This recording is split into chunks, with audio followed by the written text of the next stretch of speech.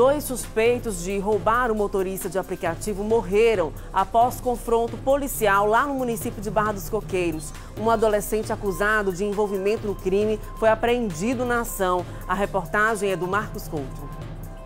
Foi através de uma denúncia que os policiais militares do CPME, Comando Policiamento Militar Especializado, que tem à frente o Coronel Arthur, que chegou a informação de três homens armados em um carro possivelmente tráfico de drogas, município de Barra dos Coqueiros. Mas o que chama a atenção, a denúncia dava conta que um dos homens que estava nesse veículo era procurado pela polícia em participar da morte do guarda municipal do município de Nossa Senhora do Socorro. A polícia foi atrás, houve troca de tiros, dois homens foram baleados, socorridos, mas infelizmente não resistiram aos ferimentos. Entre eles, esse que teria participado da morte do guarda municipal. O coronel Flávio tem outras informações. Comandante, procede essa história? Procede.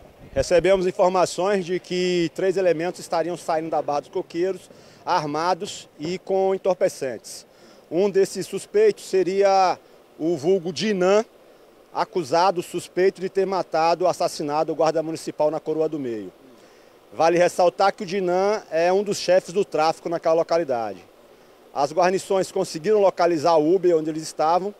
Ao tentar fazer a abordagem veicular, o dois dos três suspeitos desceram já com armas em mãos, atirando contra a guarnição. Foi feito o justo revide. Os dois que reagiram à prisão, atentando contra a vida dos militares, foram feridos, socorridos a uso, mas evoluíram a óbito. O terceiro suspeito, um adolescente, não reagiu, tentou fugir, se embrenhou no matagal próximo à pista, foi, foi acompanhado e posteriormente preso pela mesma guarnição. O adolescente não soube informar a identidade dos dois que estavam com ele, apenas dizendo os prenomes Dinan e Gregório. Segundo o adolescente, ele não estaria armado, todavia, é, pelas informações que tínhamos, os três estavam armados. Provavelmente ele tenha dispensado a, a arma no matagal. E vale ressaltar que o motorista do Uber, que certamente seria mais uma vítima desses marginais, com ele nada, nada aconteceu, está ileso.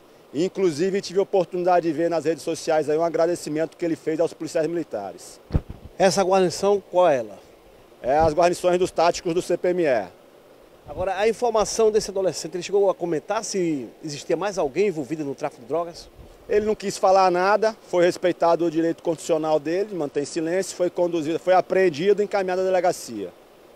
Mais um trabalho do CPME que tem à frente o coronel Flávio Arthur. E quando o fato acontece, a notícia aparece com a imagem de Ruth São Vicente, repórter Marcos Couto.